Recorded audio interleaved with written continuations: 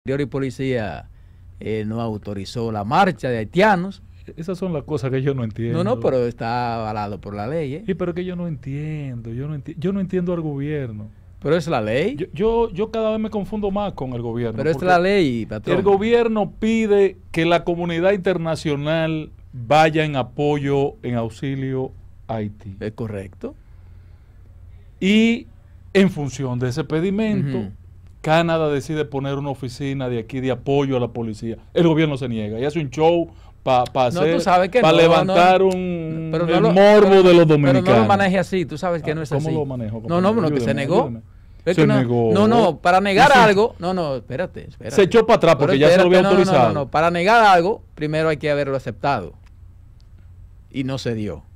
Sigue. La, la, la, confirmación de que ya lo habían no, no, apalabreado. Bueno, apalabrear, bueno, pero tú y yo podemos apalabrear, apalabrear, algo, pero eso no quiere decir que yo esté de acuerdo, tú. La, la, confirmación es que previo al inicio de la reunión de la OEA, donde preside, de, de la ONU, donde preside el canciller dominicano, la, perdón, de la OEA, la plenaria de la 53, no ABA, ¿cómo es? 50, eh, la 53 asamblea ordinaria de la, de la institución tuvo que firmar un documento público que confirma todo, excepto que no va a ser aquí la oficina, sino van a ser las dos embajadas. De no, aquí y no, de allá. Eso, eso, es diferente. Lo mismo. No lo mismo, pero bien. Eso es eh, eh, que engañe el gobierno a quien quiera engañar. Perfecto. El que se deje eso engañar es también. Eso es diferente. Pero y en entonces, este caso, no, no, no. Entonces ayer, ayer el canciller va a la ONU. El anterior fue en la OEA. Ahora fue en la ONU. Le pide al mundo es que poco creíble la vaina. Primero por la compañía que tiene el canciller ahí al lado de él. Y segundo, por porque con los hechos aquí entonces niegan lo que piden. Es tan sencillo como eso. ¿Qué porque es ¿qué es lo que negando? están pidiendo? ¿Qué es lo que van a hacer los haitianos? No, porque lo hagan en Haití. Una marcha. No, no, que la hagan en Haití. La diáspora. Que la hagan en Haití. Haitiana. ya que tienen que hacer. La diáspora haitiana quiere hacer una marcha. No, es que ellos no están pidiendo nada para la República Dominicana, es para Haití, que la hagan en para Haití. Para apoyar a la República Dominicana además, pedido de que la además, comunidad internacional asista a Haití. Además, estamos parados en la ley, porque la ley dice que los extranjeros Ay, tienen prohibido por ley organizar actividades que puedan afectar la paz social, la seguridad ciudadana y el orden público en la República Dominicana. Con dos caras y no eso vamos a se llegar le puede lejos. salir de la mano a cualquiera. Con dos caras no Entonces, vamos, a llegar lejos. Vamos a estar claros, vamos a estar claros, ¿eh? que Bueno. hagan en Haití. Y no es por Haití que están pidiendo. Que lo hagan en Haití. Con dos caras no vamos a llegar Ah, lejos. coger a la. República Dominicana Vamos de, a ver. de- de- de Bueno. condón. No, no, no, que la hagan en Haití. Pero bueno, que siga la fiesta, que sigan con su. Con la. Bien por la República Dominicana y la ley lo establece, que la hagan en Haití. Tan sencillo como eso. ¿eh? Que sigan, que No sigan. es negando nada, la ley le prohíbe. Los extranjeros no pueden No, lo están prohibiendo, están manifestaciones que puedan poner en riesgo el orden y la paz pública de Yo voy a llamar República ahorita a Dominicana. Canterpien a ver cómo cayó eso. Mira, eh, la Oficina para el Reordenamiento de Transporte, la UPRET, ha informado a todos los empleados que hicieron un paro durante poco más de una semana que serán cancelados y les pagarán sus prestaciones.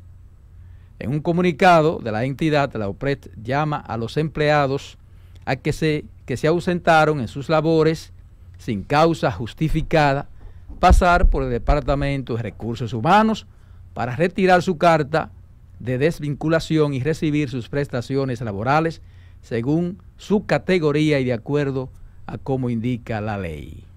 Mediante un comunicado, la UPRET indicó en cumplimiento con los derechos de los trabajadores se otorgará un plazo de tiempo establecido por ley durante el cual los empleados podrán solicitar un recurso de reconsideración de su situación en virtud del artículo 73 de la Ley 41-08 de Función Pública. La reconsideración será evaluada partiendo de la responsabilidad individual de cada trabajador. Argumentó que el metro de Santo Domingo es un servicio de importancia estratégica para los habitantes del Gran Santo Domingo que lo usan como su principal medio de transporte. Ahí está la posición de la OPRET. Bueno, esa nota no tiene desperdicio. eh, la revisión individual es correcto. Claro. Como manda la ley. Claro, Pero con eso no se puede estar jugando. La OPRE, señores, uno puede ver la parte humana, eh, lo que sea. Pero la PRE no podía jugar con eso. No, No. puede jugar con eso. Yo creo que incluso eh, dejaron ir eso un poco más lejos. No, el, el eso error debió, estuvo eso en debió cortarse de una vez. El error estuvo en Palacio cuando recibieron a esta gente y le instruyeron que se presentaran y se integraran a los trabajos. Desde Palacio. En la marcha última que tuvieron. Eso fue Lo que pasa es que en Palacio se usó la práctica de siempre de cuando una gente va, un grupo va a protestar, recibe a alguien, le dice que sí, lo- en una semana ahí a bull. Entonces eso no puede seguir siendo así. Pero- no, pero le- literalmente el señor Met le instruyó presentarse a la institución. Además se supone que desde el Palacio sabía cuál era la situación. Claro. Todo lo que debieron era explicarle a ese grupo cuál era la situación real. y que tenían que entenderse por- Exacto. de la manera más eh, eh, institucional posible con la OPRE. Porque incluso eso, eso confundió a mucha gente. A ellos. y me puedo inclu- incluir yo. O sea, uno dice, pero ven acá, pero entonces es que tienen razón ellos, es como ellos dicen. Sí, sí, sí. Entonces, no, no, no, no. No, y ellos que salieron de ahí. eh. Ellos salieron de ahí y, y el día siguiente fueron a, a fue, un integrarse a triunfo, trabajar. fue un triunfo para y se ellos. integraron a trabajar. Claro. Hubo que ir. No, no, no, usted no puede trabajar para afuera. no. Ay, pero- ¿Tú, tú, tú me entiendes? Entonces, esa tipo de situación, el populismo es una cosa complicada. No, no, tiene que manejarse mejor eso, no puede ser así. Se supone que el que está encargado de esa parte tiene que manejar Y el la conflicto OPRE del que se trate, ¿verdad? Y la OPRE no puede pifiar, No, no. no puede dar una brecha, un chance a que se entienda que eso está fuera de control. Exacto. No. Es un No, servicio que- estratégico de seguridad Es que además, nacional. además, en esta ocasión no se está violentando derechos, Exacto. ni se está No, incumpliendo lo que tiene realmente. que pagarle sus O prestaciones. sea, yo soy empleado, si me cancelaron, yo puedo decir, bueno, yo pedí por explicarme por qué me cancelaron. te- si Bueno, Adolfo por, te e- cancela- por eso y por esto. si Adolfo te ah, mire, cancela- ya después, la si prestación. Adolfo te cancela y no te paga tus prestaciones, le quitamos la jipeta ahí abajo cuando vaya. No, de algo- a Adolfo yo le hago una yuca ahí en su casa. no, no, no, le quitamos la jipeta ahí a la mala. Ahí abajo. ¿Qué vaina es? Mira, eh, la alcaldesa del Distrito Nacional, Carolina Mejía, ha dicho que discute con el presidente Luis Abinader posibilidades alternas a repetir en el ayuntamiento, pero que todavía no se ha tomado una decisión definitiva. Dice repite, ella, Repite eso, repite bueno, eso. ella ha dicho, Ella le hizo un gran piropo ella a la dicho, vicepresidenta. ¿eh? ella ha dicho que discute con el presidente Luis Abinader posibilidades alternas de repetir en el ayuntamiento, pero que todavía no se ha tomado una decisión definitiva. Sobre si buscará la reelección en la alcaldía de la ciudad, Mejía dijo que conversa sobre las diferentes opciones alternativas y posibilidades y afirmó que el Partido Revolucionario Moderno tiene muchas posibilidades de retener la alcaldía del Distrito Nacional porque tiene dos gobiernos consecutivos en los que han demostrado una visión de trabajo y de gestión muy especial y bastante en consonancia. Eso me dice a mí que todo luce indicar que la señora Carolina Mejía va a ser la candidata a la alcaldía por el Distrito Nacional. ¿Qué tú crees? No, pues yo entendí lo contrario, porque Mm. cuando ella dice que discute con el presidente Alternativas. alternativas sí, a sí, ese cargo, Sí.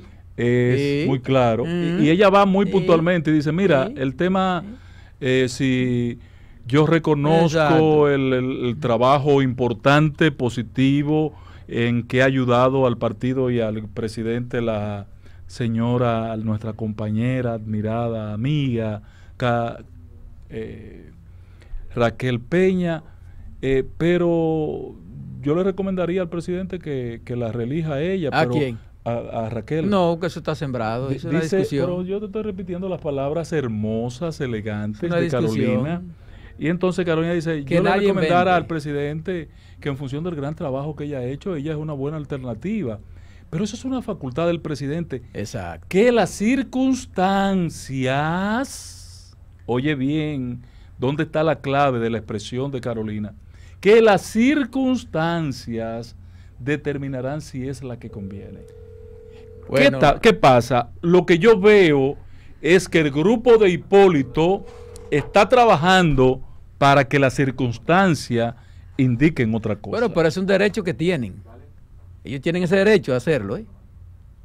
Todo el que quiere un cargo puesto hace su diligencia. Porque yo no creo que Luis se atreva a embarcarse hace su en una reelección, ahora, en un proyecto de reelección sin el apoyo de Hipólito Mejía. Ahora, pero es que eso no va a coartar. Yo no creo no va que a Luis se coartar el, atreva. el apoyo de Hipólito Mejía, porque Hipólito Mejía ha demostrado ser un político muy inteligente.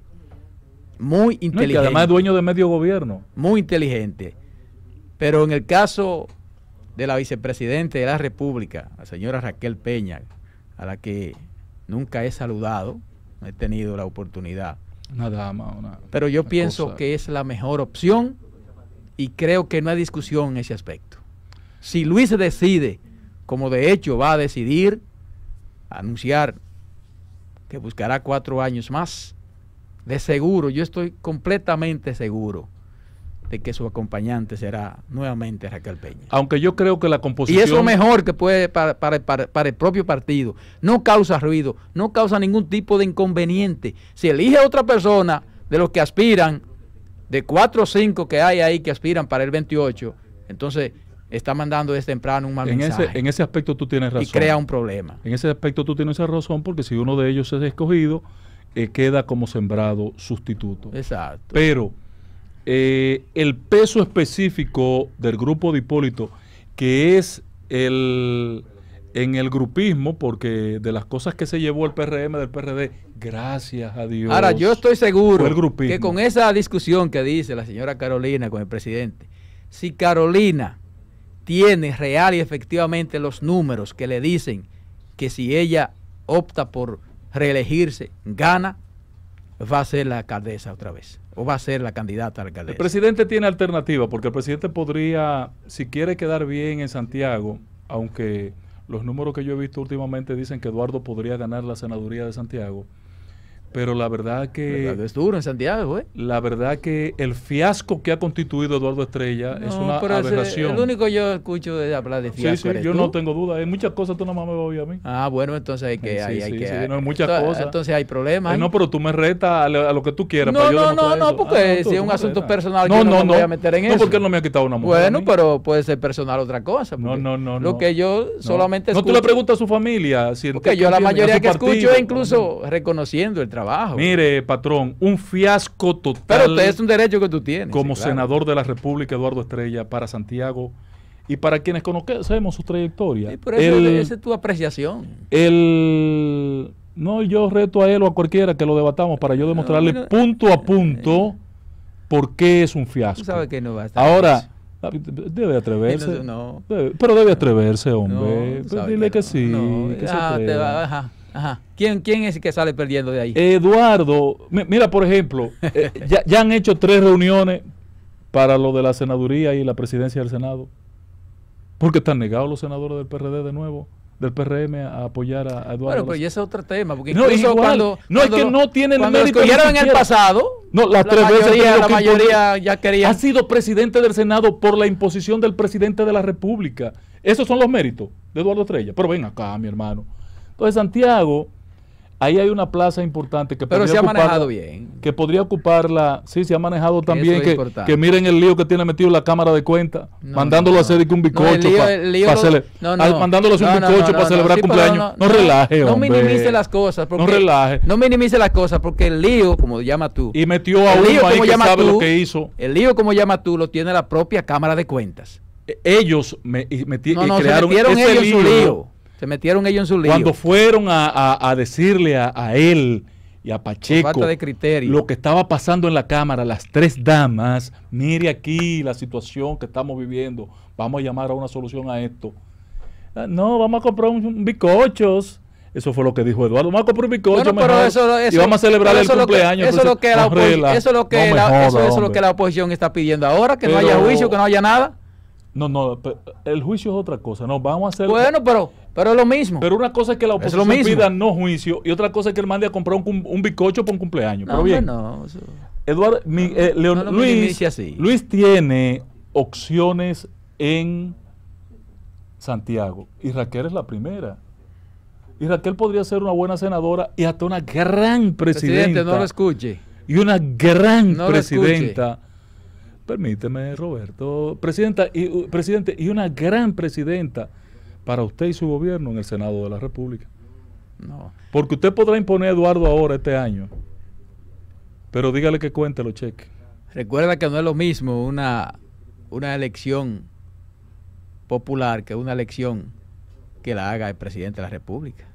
No, claro. No es lo mismo, entonces no, no, no. Pero Eh, hay personas a veces que, por ejemplo, incluso la política es tan complicada, señores, que por ejemplo hay personas que para diputados son un tiro, pero si es para senadores, ¿no? o para alcalde o otra O para alcalde. A mí tú para no que puedes- tú veas. A mí tú no me puedes presentar como alcalde a nada. Exacto. En ningún lado. Entonces, no presidente, Pero en el caso de Raquel Peña, presidente, usted tiene alternativas con ella. Ahora con Carolina, la alternativa es una sola. Y usted no puede arriesgarse a ir a la reelección sin el apoyo de Hipólito. pero es que no es. ¿Pero quién te dijo a ti que no va a haber apoyo de Hipólito? No, yo no he dicho que él. Pero que tú, no ajá, ajá. Yo estoy diciendo tú- que él no debe arriesgarse No, no, a ir a la reelección. O sea, tú estás- lo que le estás diciendo es, bueno, si Luis no escoge a Carolina, Hipólito se va a trincherar. ¿Qué pasa?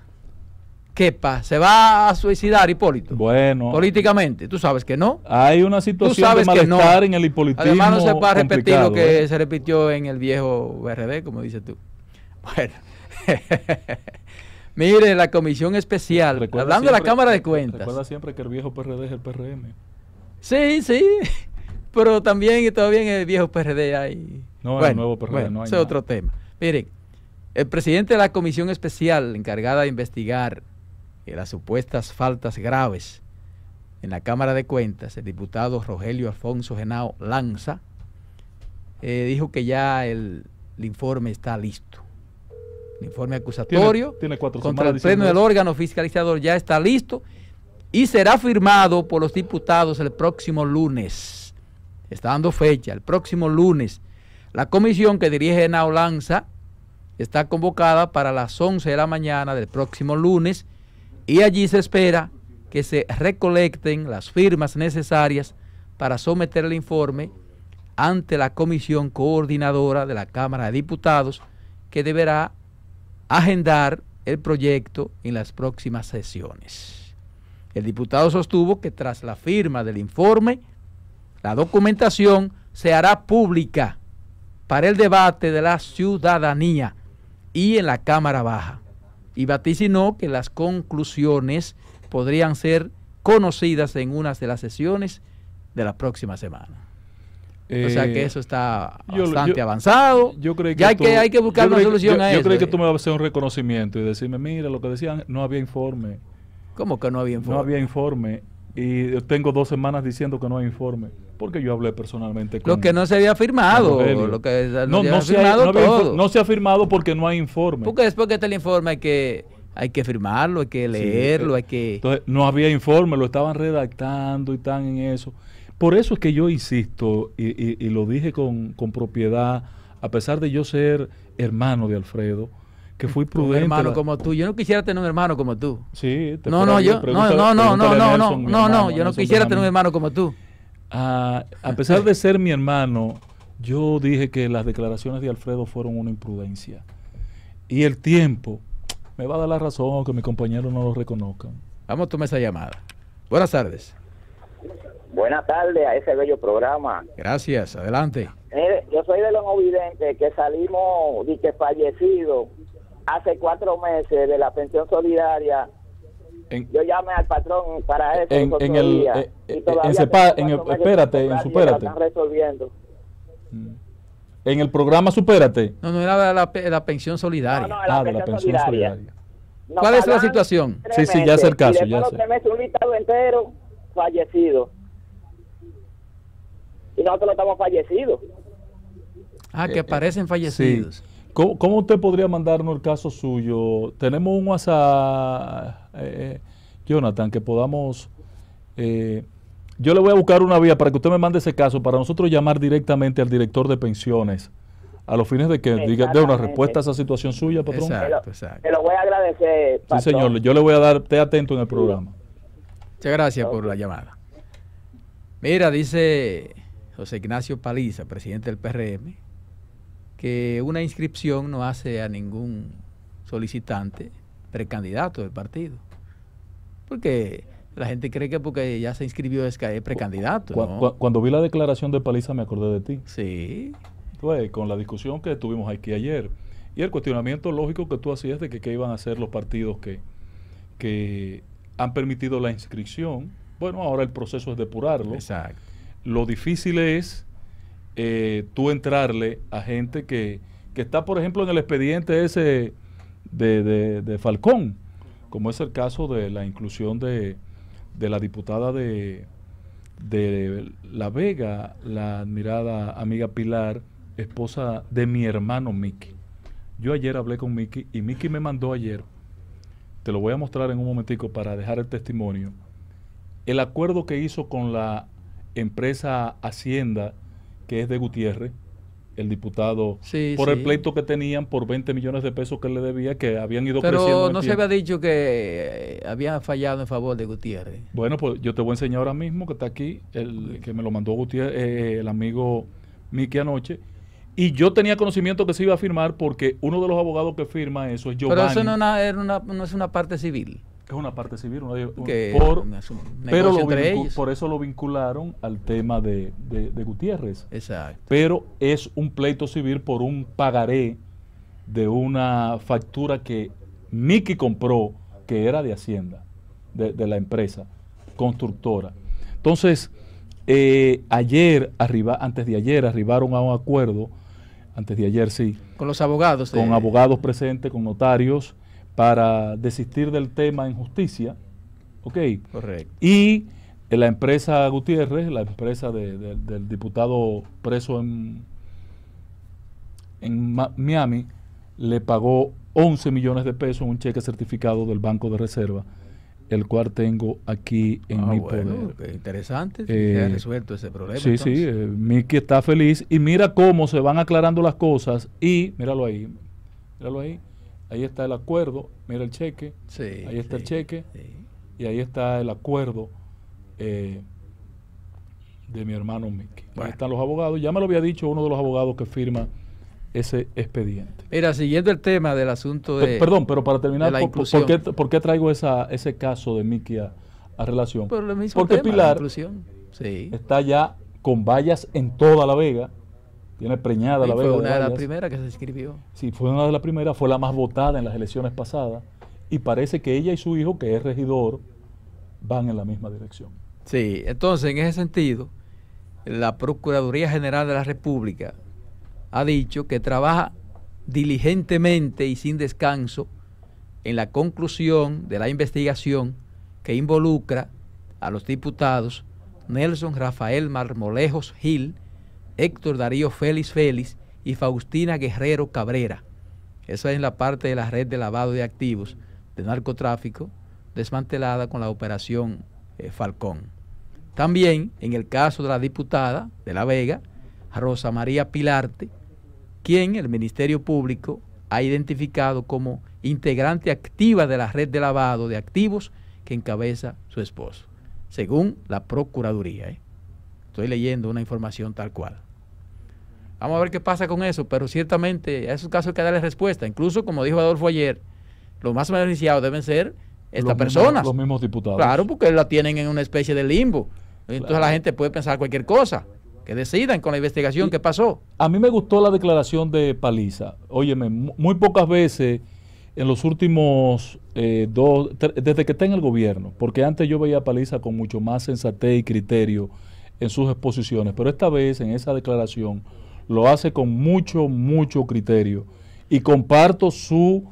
eh, Con mucho atino. Sí, sí. su- comparto los basamentos, la- las bases jurídicas que él esboza como excusa. Y le- pero le digo a mi amigo Paliza, y se lo digo también a Eddie Olivares, que tiene una tarea fuerte de por medio, que procure llegar a acuerdos bilaterales con estos, con estas personas, si lo quieren excluir como diputado. Bueno, es que eso se estipula. O sea, para ellos aceptar, por ejemplo, que no se, que se le niegue una participación como candidato. Tiene que haber eh, alguna negociación o... Que ellos o- renuncien, no para que ellos renuncien a la exacto, candidatura. que ellos acepten, entiendan No, no, hace, los que argumentos. las circunstancias Exacto. y renuncien a la candidatura. Exacto. Porque si no hay una renuncia de ellos, no hay forma de impedirle que sean candidatos. y entonces estamos hablando de personas, candidatos o precandidatos, o solicitantes, aspirantes a precandidatos, que tienen grandes posibilidades oh. de, alcanzar el triunfo. ¿eh? Claro. Que no estamos hablando tampoco de... Los tres, los cuatro. Exacto. Los cuatro. Que hasta, que hasta para el partido es una situación difícil. Claro, el senador no va. Es una situación el candidato a diputado. Tú arriesgarte a perder eh, cuatro posibles. Eh, bien votados eh, diputados. Además que eso también, eso también se refleja en voto más arriba, ¿eh? Porque en el caso de los diputados van junto al presidente. Por eso yo no le doy gran importancia al tema de los alcaldes, porque los alcaldes, por ejemplo, tú puedes como partido en febrero ganar 100 alcaldías y, dos días después tener 50. O que el alcalde que ganó dice, no, yo no voy a apoyar a ese candidato. Eh, que, es un gran peligro que corre el PLD, Fuerza del Pueblo, que la gente o que el gobierno se los compre entre febrero y mayo. Así es. Buenas tardes. Adelante, buenas tardes. Varón, ¿cómo está usted? Bien. Yo le quiero hacer una pregunta a usted. Adelante. ¿Usted, usted considera que en las próximas elecciones los pensionados de la Fuerza Armada y la Policía Nacional, los votos de nosotros no le harán falta al presidente eh, Abinader. Pero yo entendí que, que, se le había dado seguimiento al tema de ustedes. Yo, yo, yo, pienso que ciertamente los reclamos que está haciendo el amigo, que en muchas ocasiones ha llamado, eh, deben ser atendidos. Ahora, pero también hay que ser a veces un poco justo. Yo pienso que el presidente de la República ha sido consecuente con. Sí, pero lo único que le han dado el segurito. Incluso se ha tratado mejor que en otras gestiones. Pero es el segurito lo que le han dado, que ya lo tenía. Bueno, pero. Le mejoró las condiciones. Bueno, le ha mejorado condiciones. Quizá, claro que falta más, pero le ha mejorado condiciones. Pero la pregunta. tampoco se puede partir una exigencia, tampoco pero la partiendo de un chantaje, porque decirlo así se puede ver como un chantaje. ¿Cuál fue la pregunta que le hizo? Que si no le van a hacer falta los Exacto, entonces eso se puede ver, eso se puede ver como un chantaje. Sí le van a hacer falta, patrón, y háganselo saber que los necesitan. Sí, pero eso se puede ver como un chantaje y no se negocia. Esta es la hora, patrón, esta es la hora, si no Yo, le, yo le aconsejo y le recomiendo que no se negocie en base a chantaje. Patrón, exijan sus derechos en materia electoral y si no le dan sus beneficios, no voten por ellos. Exijan sus derechos, pero no metan el tema electoral. Exijan sus derechos, pero no metan el tema electoral. En todas partes del mundo esa es la democracia. ¿Por qué? Habrá que ver entonces si la mayoría piensa así, porque puede ser él que esté pensando así. y los otros no. todos los días y llamo poco. Pero eh, a mí, ¿qué, me duele a mí? Que el presidente Abinader en su campaña dijo que él consideraba que era hasta injusto el era aumentarle a los activos y no aumentarle a los pensionados, que era hasta injusto. Entonces ahí se ve que es una plena mentira que él está hablando, que era injusto y ya va para tres años. Organícense, organícense y hagan sus exigencias eh, públicamente, manifiéstense. Porque ah, si no, no, le, van a hacer caso. demuestren, demuestren el músculo, el músculo electoral. Estamos de acuerdo que se manifiesten, pero eh, no, no, no metan el tema electoral. Demuestren su músculo electoral, porque solo así. no metan el tema electoral, porque van a ser importantes. Puede ir peor. Miren, eh, qué cosa, le robaron al abogado. al abogado de, del joven Joshua, que fue eh, ultimado por el caso ese que está el, doctorcito. Le robaron del carro, rompieron el vidrio y robaron el expediente de ese caso. Y él dice que había en otro expediente de otro caso que él tiene, incluso había dinero y no, y ese fue el que se llevaron. Está raro eso. Pero que eso además es fácil de, determinar y de investigar. Y además una tontería. ¿Quiénes son los interesados? Y además una tontería porque él construye ese expediente. Además, exacto. En varios días. Él dice, el abogado, que puede ser una especie de amedrantamiento, de que atemorizarlo, ¿para qué? Dice, no. O sea, pero además eso es fácil porque ¿quiénes son los interesados? ¿Quiénes pudieran eh, perpetrar esa acción? Exacto, todo eso. ¿no? Mm. Que hay cosas que están a la luz del día, que no, no hay que ser un mago para, para determinar. Pero uno se ríe porque son cosas que Óyeme, le rompieron el cristal de vehículo y le llevaron ese expediente. No tiene sentido, ¿no? Porque eso es una tontería, un expediente que se construye en horas. O sea, ¿qué, se, se busca con eso? Que no sea como ¿Qué, dice el pasa? los abogados de la parte contraria no tenían cuarto para hacer una copia y... no Exacto, exacto. o sea, bueno. Buenas tardes. Claro, Adelante. Estoy de acuerdo, estoy de acuerdo 100% con lo que llamó el señor. Eso que él dijo fue verdad. El presidente nos prometió a nosotros un aumento. Y a, nos- a mí en particular no me ha llegado nada de aumento. Yo Sí, sí, cobro sí, esa 11,000 parte es pesos cierta. de parte es cierta. Y gasto 14 mil pesos de medicina mensual, con probabilidad. Bueno, vamos a esperar que el presidente le responda Y que le responda